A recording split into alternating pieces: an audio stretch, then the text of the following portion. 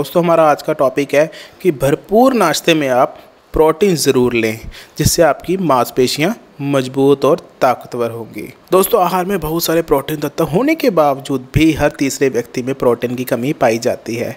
यह शरीर के लिए ज़रूरी कारकों में से एक है, जिसकी कमी से जीवन शैली में जुड़ी कई बीमारियों की शुरुआत हो सकती है। सही नाश्ते में कार्बोहाइड्रेट्स फैट फाइबर एंटीऑक्सीडेंट और जैसे पोषक तत्वों का एक सेट शामिल होना चाहिए। सबसे ज़रूरी बात प्रोटीन युक्त खाद्य पदार्थ लेने से मांसपेशियों को ताकत बढ़ाने और वज़न घटाने में तेज़ी लाने में मदद मिलती है। प्रतिदिन शरीर के वज़न के हिसाब से 0.8 से 1 ग्राम प्रोटीन मूल पोषक संबंधी ज़रूरतों को पूरा करने के लिए आवश्यक है। इसका मतलब है कि आपके खाने की एक प्लेट में एक चौथाई भाग प्रोटीन होना चाहिए। हर भोजन में एक कटोरी दाल की ज़रूरत को पूरा करने के लिए प्राप्त है, लेकिन ऐसे भोजन में आवश्यक माइक्रोन्यूट्रिएंट्स की कमी होती है, जो प्रोटीन की ज़रूरतों को पूरा करने के लिए आवश्यक है।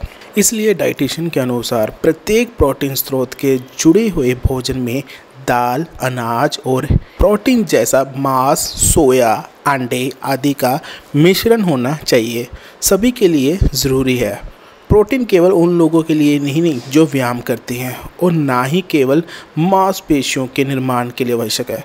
बहुत सारे तरीकों से प्रोटीन एक आवश्यक बिल्डिंग ब्लॉक है। सो so, दोस्तों देखा आपने प्रोटीन किस प्रकार से आप प्राप्त कर सकते हैं और प्रोटीन कितना ज़रूरी है हमारी बॉडी के लिए।